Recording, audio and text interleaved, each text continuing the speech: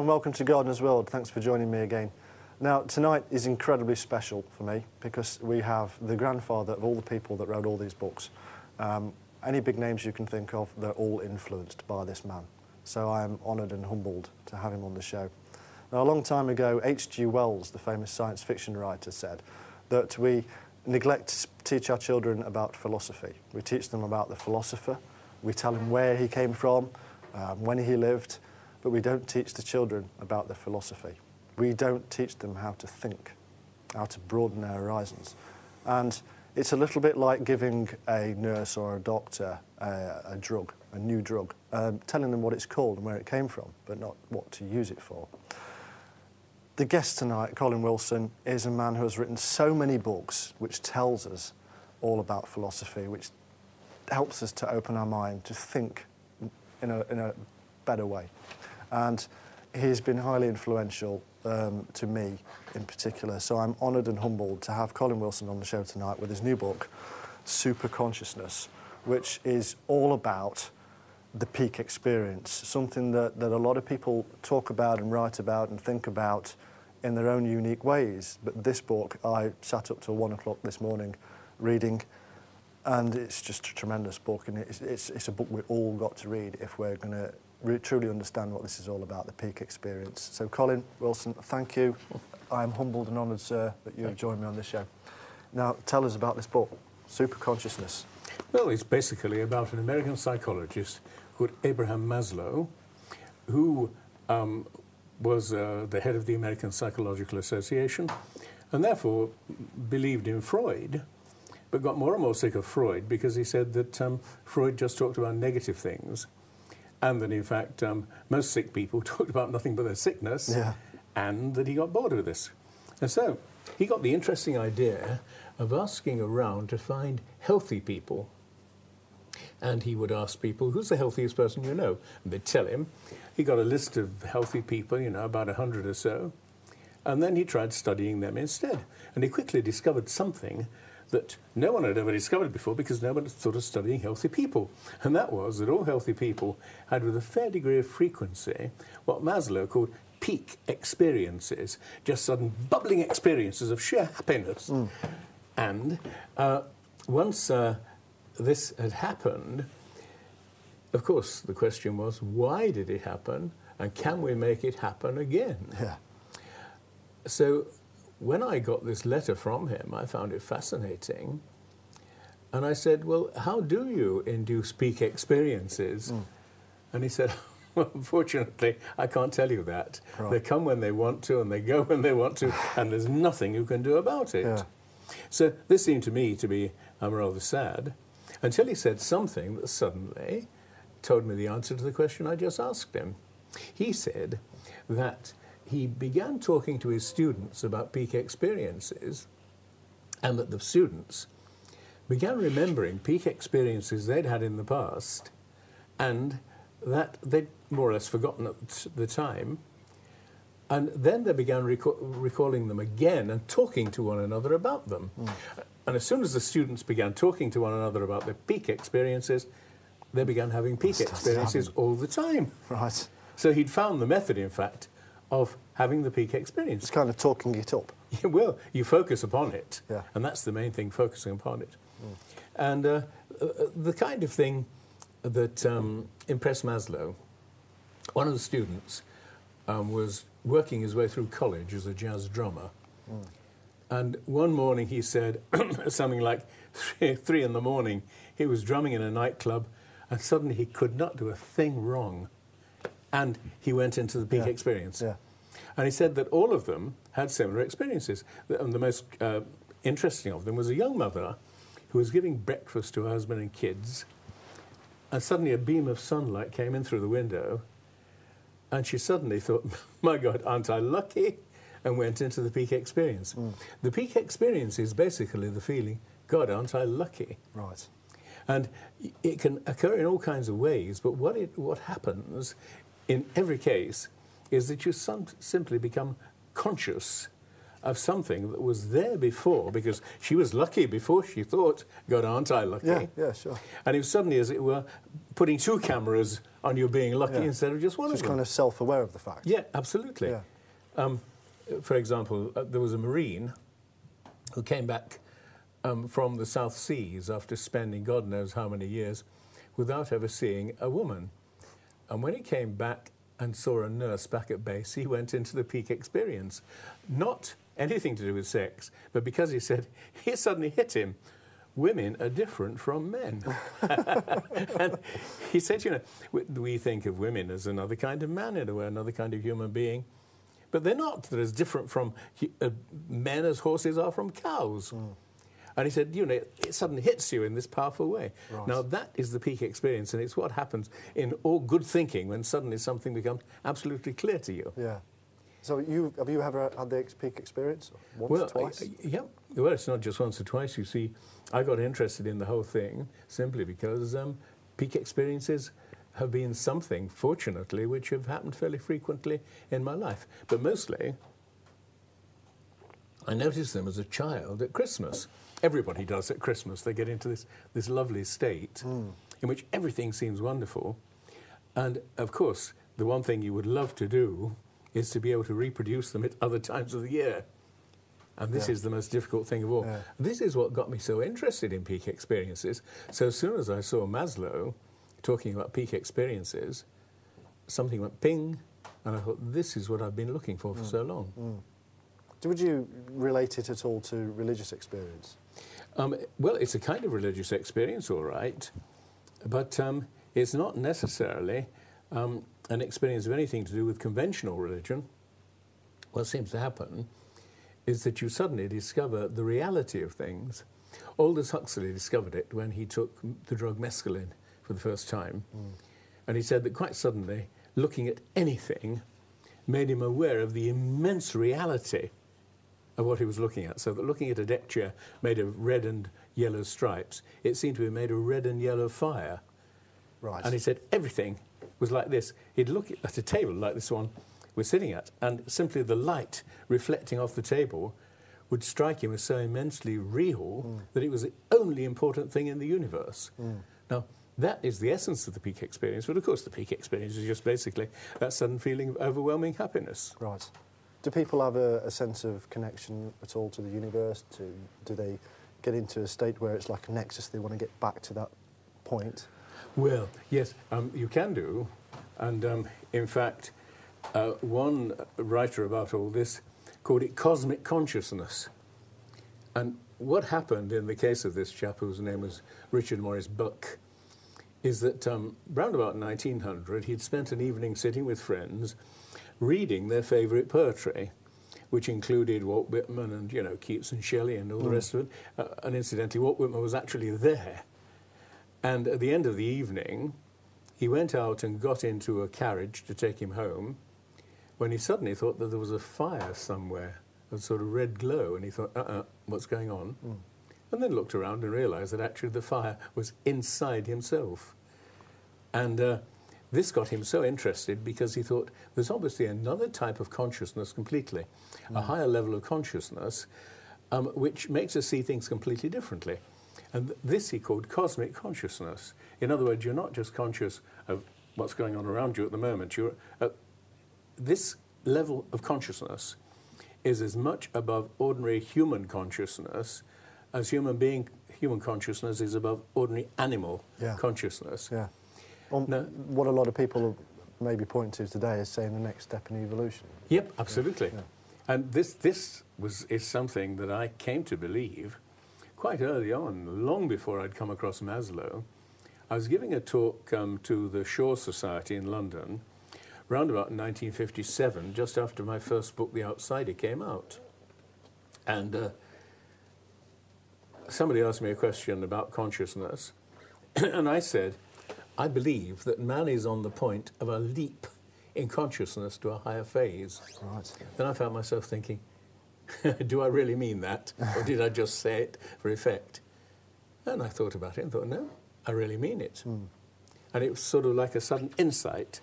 But these things don't occur to you as flashes of, um, you know, brilliant uh, knowledge, they just suddenly occur as a precise and absolute intellectual focus. It's the kind of thing Sherlock Holmes could have, Yeah. as well as anybody else. Right, sort of kind of in, intuitive. Yeah, yeah, absolutely. So that's what interested me so much how you could actually teach yourself um, to focus the mind sufficiently to get peak experiences. Yeah, because this book is very much a, a kind of self-help to how to get there, isn't it? Mm. You know, I mean, the reason I ask about the religious experience, maybe even the mystical experience, you know, that point where they get a sense of the divine, where they see a greater knowledge, they, they believe they're part of the whole universe and maybe even connect to the whole knowledge of the universe. But it's, it's not the same kind of knowledge that you get out of book. And you, you know, it's, it's a different kind of knowledge.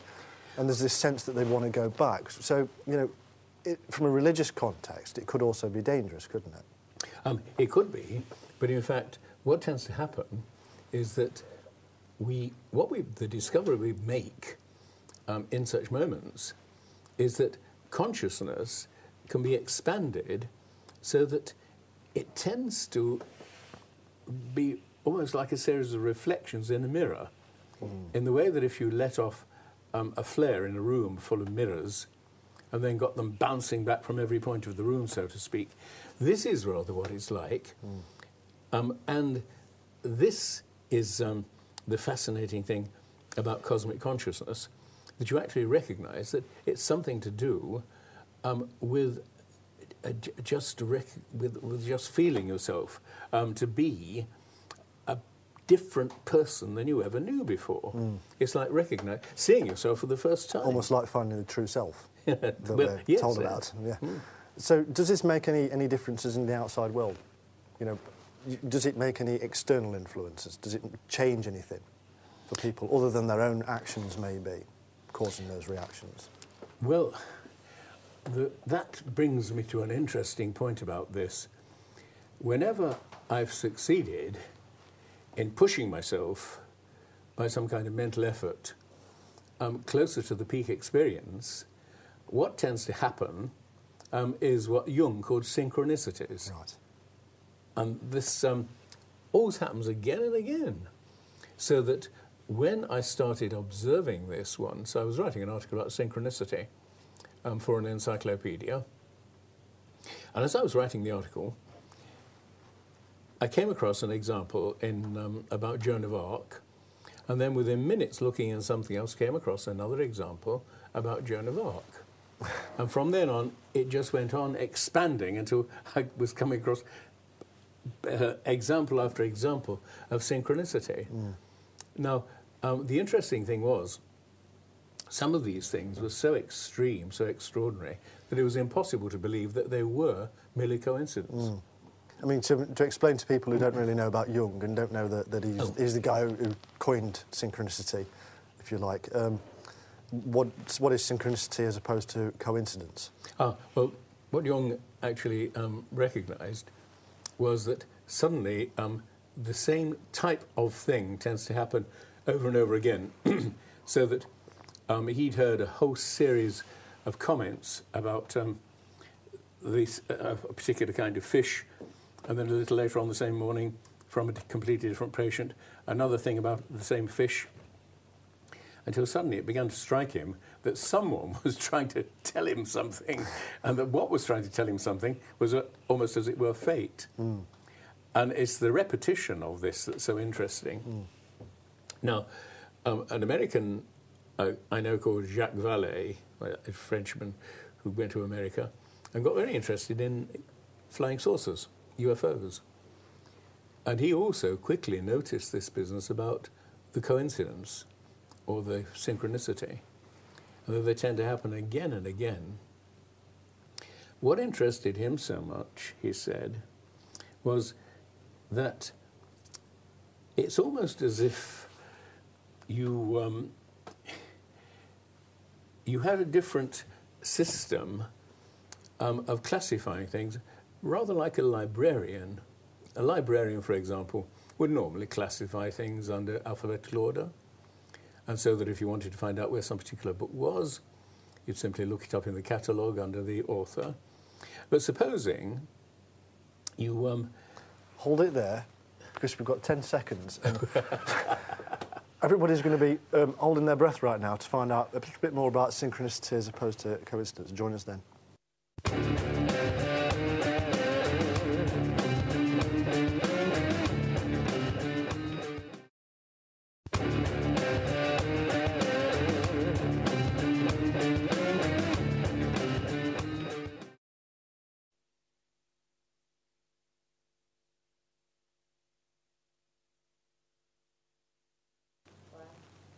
Hello, welcome back to Gardiner's World. Now, just before the break, Colin was telling us all about the differences between synchronicity and coincidence, and uh, I had to cut him short, unfortunately. Colin, can you take up where you left off? Mm. Yeah, I was saying that a librarian uh, could classify books in two different ways. The obvious way is the way that librarians use, that is to say, to put them um, in alphabetical order, and so on and then going and looking it up in the catalogue. But there must be a simpler way of doing that, particularly nowadays when we've got um, so much electronic help. Mm. And what um, Jacques suggested was supposing whenever a book came into the library, you simply shoved it on the first shelf and allowed the shelves to expand.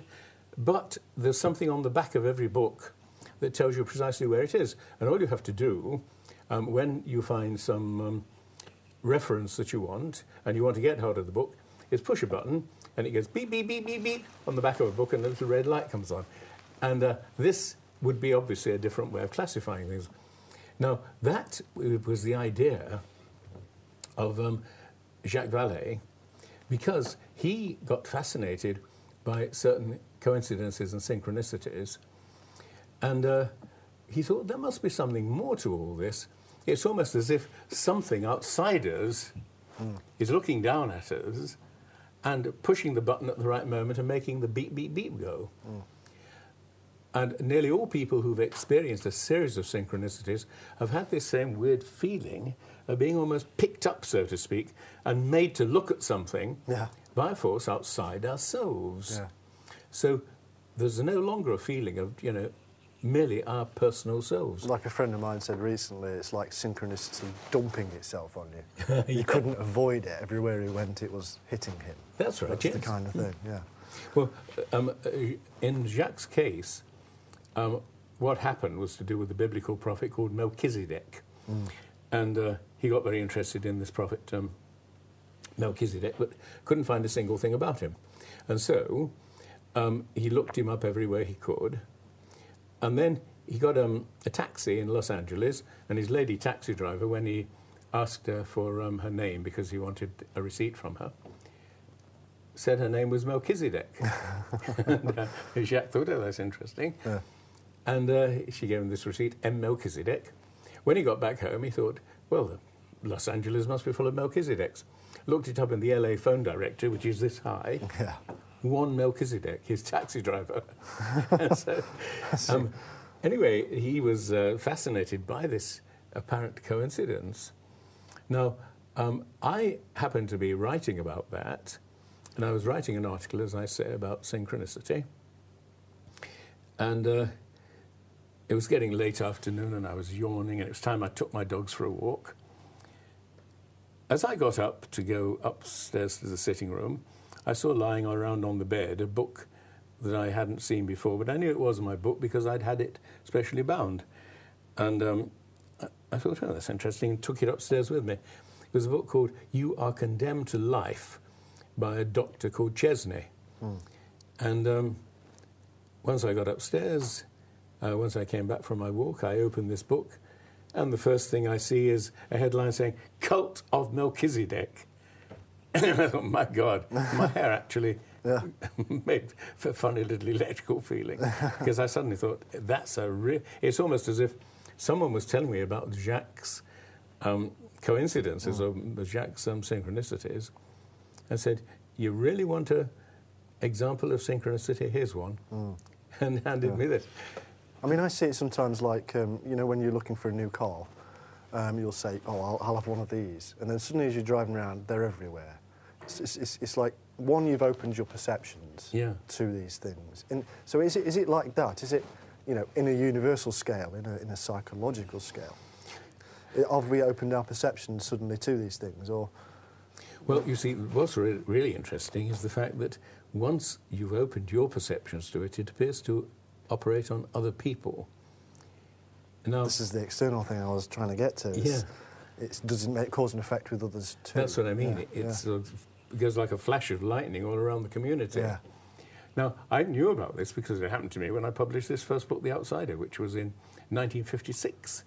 I mean, something's just flashed in my head. You know, as, as a marketing guy, you kind of think to yourself, oh, if this is true, just think of the marketing that you can do with this. Kind You're getting a bunch of people sat together, all concentrating on a product, and synchronicities will occur, and everybody will buy that product.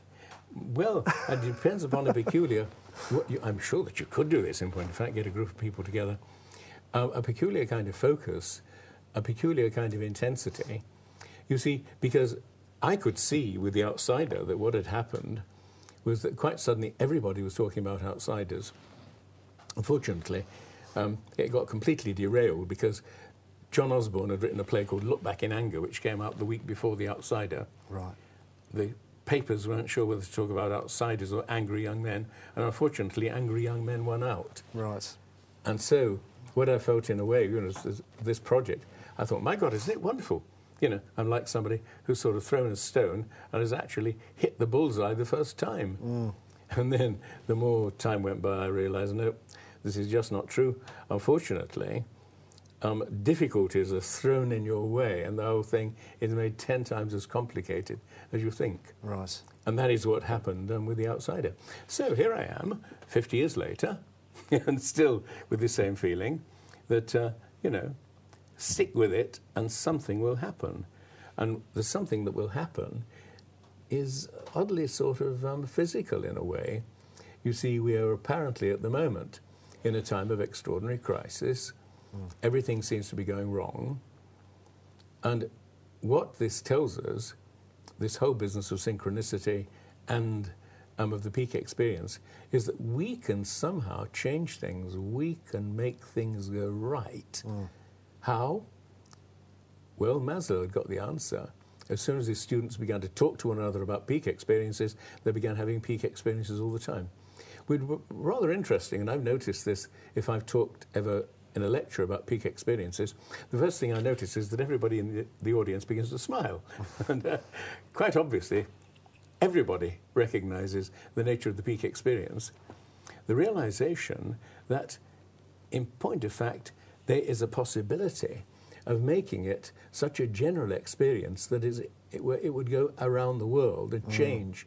We could change civilization. So let's start today. You know, all the Yeah, people that are watching this show now, can we make them all smile at home and With- send this around the world? With the simple idea, yeah. Yeah. It's sort of rather like Uri, Uri Geller, who used to do the same thing on television and make people bend spoons. Mm. This is a bit more useful. yeah, rather. It's making people smile and let's send some positive waves out there because there's an awful lot of negatives, aren't there? There's, I mean, you, you're probably fully aware of the, the 2012 club, people going on about the Mayan prophecies and, hmm. and it's either the end of the world or it's a great enlightenment and we're all going to, you know, everything's going to be saved and it's all going to be fantastic. Let's go for a positive aspect and let's say that, that we can make a change now. Hmm. Never mind 2012. Never mind some silly date in the future or some date in the past or whatever. Let's make a change now. And let's all have this positive experience and peak experience now. And then spread that to our family and our friends. And, you know, is this, is this, this a good thing? Should we do this? Um, it could be done, and what's more, uh, I've been saying that it could be done for 50 years or more. and uh, I'm finding it increasingly difficult in a certain sense because, um, you see, I found myself born in a very negative time, a time of negative philosophy. This negative philosophy had been around, in fact, since around about uh, right after the First World War, when quite suddenly um, it invaded literature in the form of things like T.S. Eliot's Wasteland and Ernest Hemingway's early novels, and this feeling, you know, that um, quite suddenly the world is, you know, in Noël Coward's cavalcade, a voice towards the end keeps shouting, "The world's gone mad! The world's gone yes, mad!" yes. And uh, this kind of thing does produce uh, a reflection in the society itself. So, if you really want to destroy things, just go around shouting, "The world's gone mad!" It's all going to end. yeah. So, can, can peak experiences be used in a positive way, for instance, with people who are neurotic or, or have other mental ailments. Oh, very much indeed. I mean, for example, um, a, a friend I knew, an older chap, came over to see me one day years ago and said, Could I offer him some kind of work? And he said it didn't matter whether I paid him or not. All that he wanted was that he was in such a miserable state that um, he uh, would do anything, you know, just for the sake of putting his mind on something else. And I said, Well, I can't actually because I tend to write most of my own stuff and it pours straight onto the typewriter. We didn't have a computer then. And uh, anyway, I said. Good old days. Sorry? Good old days. yes. and uh, I said, but um, here's my latest book, you know, have a look at this. And I passed on a book called New Pathways in Psychology, which was about Abraham Maslow and peak experiences. And he came back the following week and said, ah, you bugger, you knew what you were doing, didn't you, when you gave me that book? And it, oh, it's quite obviously changed, you know, from being miserable and gloomy, Yeah. quite suddenly it had changed Yeah. him. So the very fact of actually looking into this. It's merely a matter of becoming conscious of something. I mean, would you have any advice if there are people out there now watching this that are uh, maybe negative about certain things or, or feeling a little bit low about things and maybe uh, wondering to themselves, well, what is this peak experience? How can I achieve this? Well, yes, but um, what you've got to do is to start off by understanding the way that all this has come about, because that's the really interesting question. That's what I've really gone into in this book. The way that ever since um, round about um, 1873 or something, uh, there has been an increasing tendency to this extreme gloom. And it really, the Romantics started this whole idea of getting these ecstatic, wonderful feelings that the whole world is a marvelous place. You know, and Keats and Shelley and all the rest, and William Blake. And then, quite suddenly, round about 1830, it went out like a light, with, partly with the death of Byron and various others. But quite suddenly, Romanticism uh, turned into something rather bitter and grim and continued in that way um, for the rest of the century and has continued right down until today. So, what we're doing in a way is trying to change something that has been around um, for well over 200 years. Now, um, I've often felt as a writer that this is like some enormous log which lies across the road of civilization, and that we can't go forward with this log in the way. What we've got to do is to get a bulldozer and bulldoze it out of the way, Yeah. and then everything would be fine. Right. And uh, I've always believed in this, and I've also recognised that you know there's nobody who can do it if, if I don't get the bulldozer and start work on it. You see, you've got to start understanding the way that these things work. What it amounts to is really what I call the Laurel and Hardy theory of consciousness. And what this involves recognizing is that inside you've got two different beings that you could compare to Laurel and Hardy. You know, um, Hardy is the fat one, and uh, Stan, I'm old enough to remember. yeah, and Stan's the, the thin one. Yeah. And uh, what, what actually happens is that you have two people living inside your brain, inside the right and left hemispheres of your brain, who correspond pretty exactly to Laurel and Hardy. Uh, and what happens when you get into these states of extreme happiness is that Laurel and Hardy are actually reinforcing one another. And so that when a child, for example, gets terribly happy on Christmas morning, what happens is something like this. The child wakes up and um, thinks, oh, good, it's Christmas. And then everything tends to reinforce that feeling of, oh, good. You know, the lights on the Christmas tree, the smell of the turkey cooking in the oven, the mince pies, and all the rest of it. And so you can, before the end of Christmas Day, build yourself up into a state of optimism that seems uh, absolutely unattackable. Whereas what has actually happened in this civilization, as I say, since about um, 1770, is that we've gone in the opposite direction and tended to go down and down and down. Now, um, once you recognize that, in fact, what you've got are two people in your brain, um, Stan and Ollie, and that once uh, you recognize this, y- there are some mornings when things seem to go wrong, you know, um, and Ollie, who's the intellectual of the two in a way, let's say he cuts himself while shaving, and then, you know, he going out of the front door falls over the doorstep and all the rest of it. And he thinks, oh God, it's just one of those days. As soon as you think, oh God, it's just one of those days, It's going to be one of those days. starts Yeah. going wrong. Oh, yeah. We're going to have to get into this a bit deeper after the after the break. I mean, because you know, Sure. unfortunately, those things come along every now and then. Um, I want to get a little bit deeper into this and, and see what else there is to it because it's such fascinating stuff. It affects us all. So join me after the break when we're back with Colin Wilson.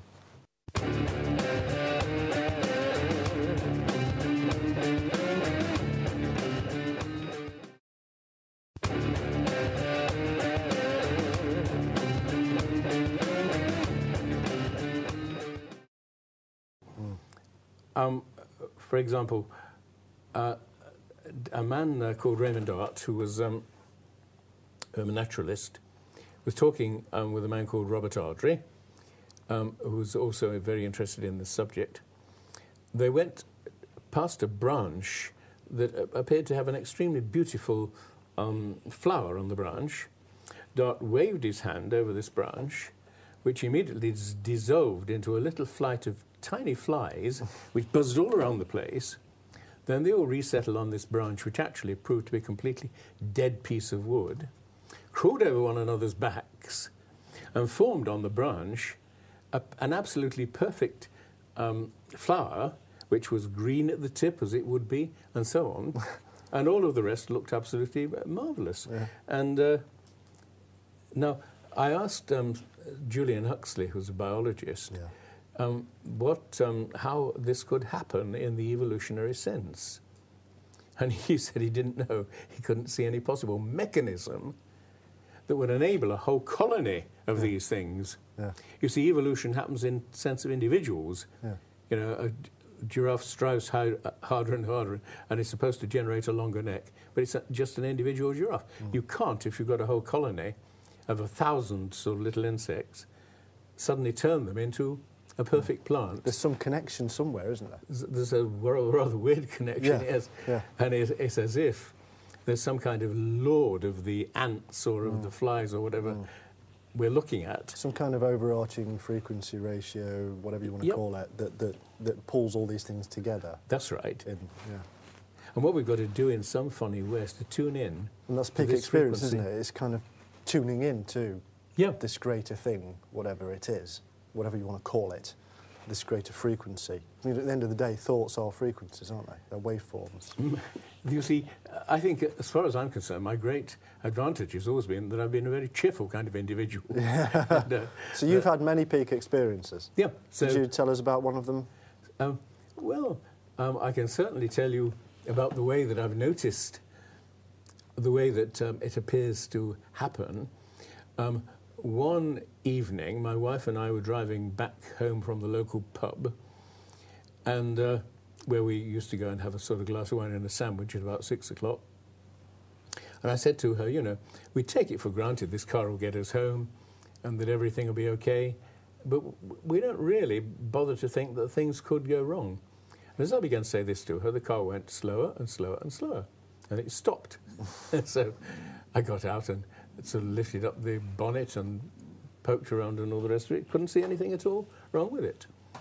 And finally, another car came along the road, and I signalled him to a stop and said, Would he give my wife a lift home? And uh, because he was going that way, and off he went with her. And uh, I stayed on. She came back in due course with our Land Rover and some thick ropes, and we hauled the car along home. Well, when the garage looked at it on the following Monday morning, they said, It's funny, we've never seen this fault before. It's a completely rare thing. Right. But as far as I was concerned, I could see that m- the words I'd said to her, we take it for granted that this car will get us home, but perhaps it won't. Hmm. And it was as if, as it were, someone overheard me, said, "Okay, we'll demonstrate it." Hmm. And what it demonstrated for me, of course, because there was no real damage done, we were home a mere 20 minutes later than we would have been normally. Yeah. What it merely demonstrated was that there appears to be some force in the universe which does take notice of these kind of things and can actually change them. Hmm. Now, now that we're living in this particular time when it looks as if things are incredibly bad, I've got a feeling once again that if, in fact, this could be grasped, we could, as it were, generate a whole movement hmm. where we could do it with our minds alone. Hmm. And of course, someone like you is in an ideal position to do it because you exercise such influence over so many people. Well, not the wife. but I do, I do agree. I think it's time, personally, you know, I, mean, I, I veer away from giving personal opinions or try to, but my personal opinion is that it's time for a big moral shift. Hmm. You know, that we've, we've allowed people and we've allowed concepts such as greed, etc., to have too much of a hold on us as a society as a whole. And it's time to start listening maybe to that true self that we were talking about earlier, the intuitive side of ourselves. What do you think? Do you think it's time to get back to this utopian idea? Yep, I, I fortunately have never been terribly involved in that because uh, as a writer, I've never made much money. I was being sort of rather surprise, surprise. I, I agree with you. and uh, and therefore, you know, it's. Uh, I've always had an overdraft. I haven't got one at the moment, believe it or not, but um, we've always had an overdraft, and um, we take it for granted that things will work out okay. And it's, I'm sure this basic belief that things will work out okay. Yeah. That's the um, that's the answer to this. Right. Indeed. Fascinating. I mean, there's, there's obviously there are waves and peaks and troughs of, of good of feel-good factors. I mean, you know, Yeah. America with Obama coming in has got this little wave of a feel-good factor going off. But there's Hmm. also a negative side to it. I mean, you know, anybody who sees YouTube and sees the a film, The Obama Deception, that's doing the rounds, you know, already that opposite side of the coin, that Laurel and Hardy, Hmm. in the society is coming out. So do you think, I mean, my point I'm trying to make is what's going off in the individual? Do you think that's reflected in the society as a whole, like the, the bugs that turn in, that make the flower? I- is that the same kind of connection there? Well, I'm absolutely certain that there um, is a force outside us that causes the bugs to turn into flowers, and that um, our main problem has, for, for a very long time, um, been to believe in this and to recognize its existence. It began to happen um, in the 19th century with this movement called Romanticism, and it had gone dead by the end of the century and everyone was in a sort of mood of utter gloom. And then it went worse and worse and worse with the First World War, and then, as I say, Hemingway and the Wasteland and all the rest of it. And now, as far as I can see, philosophy has never been in such a totally gloomy state Yes. as it is at the moment. I, I must admit, I agree with you. I mean, I, I interviewed a, a philosopher not long ago, um, quite a leading philosopher. I'm not going to mention his name, but um, we've got that in the can. And I came away from that gloomy. Hmm. I was, you know, if I had to sit there all day thinking those thoughts, I might as well do what a lot of people that you've spoken of in, the, in your book, kill myself. Hmm. You know, oh, well, it's, none of it's worth anything. It's all a waste of time, etc., etc. You know, philosophy to me is getting people to actually think for themselves, not telling them to start thinking gloomy thoughts. You know, um, but what do we mean by self? Do you have a, an opinion on what the true self is? Well, um, when I started writing The Outsider, it was partly because I was fascinated by the suicide rate in the Yeah. 19th century, that so many people had killed themselves. And then when you looked at it more closely, you could suddenly see that the reason the suicide rate was so high was that you got a particular kind of conflict. Van Gogh um, painted a picture called The Starry Night, Yeah. which shows the whole sky exploding Yeah. with stars all over the place. There's such insight in that Yeah. painting, isn't there? and he seems to be absolutely positive. And yet, six months later, he killed himself and left behind a note that read, Misery will never end. Well, it's perfectly obvious that it was Van Gogh who, in a way, decided that misery will never end. Mm. And what's more, if the silly sod had hung on for another year, everything began to change. Yeah. So, There's a good message for everybody, though, isn't it? Absolutely brilliant message. Hmm. You know, we're all capable of doing such wonderful things, like Van Gogh, who, who did some tremendous paintings with a lot of depth to them, um, but then can also flip to the other side.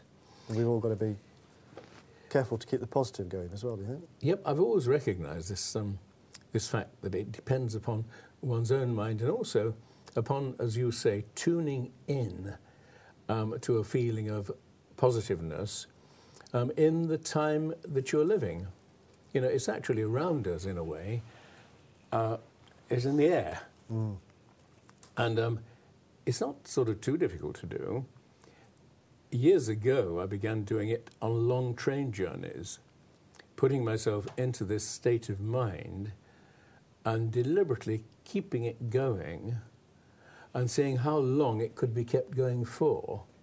Well, um, I'm nearly 88 at the moment. No, I'm not, I'm 78. And uh, years of doing this have gradually taught me the way to do it. And I'm convinced that this is the basic answer. Mind, it's possible, of course, to be wrong about that. Bernard Shaw said that um, he believed he was well on the way to living to be 300, which was always my ambition. of course, he died at 93. That's not bad.